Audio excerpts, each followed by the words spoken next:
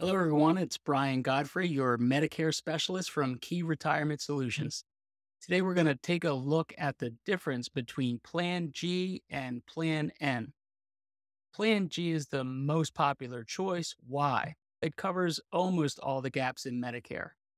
This means it covers the Part A hospital coinsurance and hospital costs up to an additional 365 days after Medicare benefits are used up it covers the Part B coinsurance and copayments, the first three pints of blood, uh, Part A hospice care coinsurance, the skilled nursing facility coinsurance, Part A deductible, and Part B excess charges.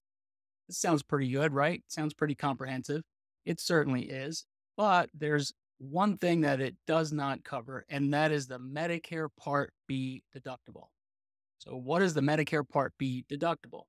Every year in January, Medicare resets the clock and the Part B deductible starts again for every single person.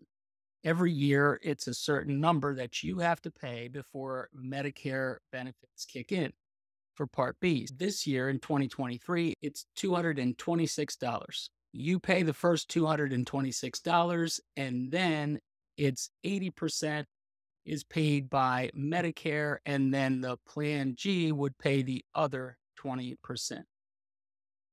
Let's take a look at Plan N. It covers all the same things as Plan G with a few exceptions. It also doesn't cover Medicare's Part B deductible.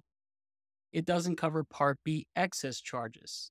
And you may have to pay a copayment for certain office visits and for emergency room visits that don't result in an inpatient admission. So, what is an excess charge? Give you an example. Let's say that you injure yourself. Let's pick on an elbow. You need an operation on your elbow. Doctor says, hey, that operation is going to be $5,000 cash price. Since the doctor accepts Medicare, they accept the price that Medicare is willing to pay them for that service. But Medicare is not paying the full cash price because they're the nation's insurance for seniors, right? So they get a bulk discount. So they say, "Hey, doc, we're only going to pay you 4000."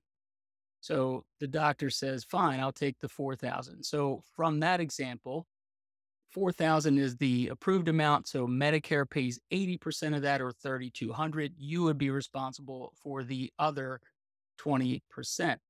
Now, the difference is $1,000 in our example. That is what would be considered an excess charge. Now, doctors are allowed to bill you up to a certain percentage of that excess charge. Check with your state. In Maryland, I believe it's 15% is what they could charge you. Plan G covers the excess charge, Plan N does not.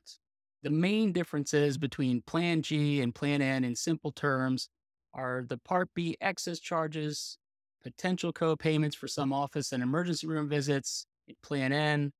But both plans offer robust coverage. The right one for you really depends on your needs, your budget, and what's most important to you. For a no obligation plan comparison, give me a call, book an appointment on Zoom with the links below.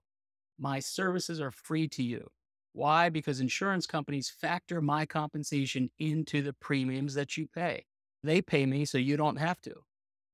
If you found the video informative, please give it a thumbs up, share it with your friends, and don't forget to subscribe to my channel for more helpful information on Medicare and retirement. Remember, when you pay your insurance through Key Retirement, you can earn tuition rewards to help your loved ones pay for college. Thanks for watching. I'll see you in the next video.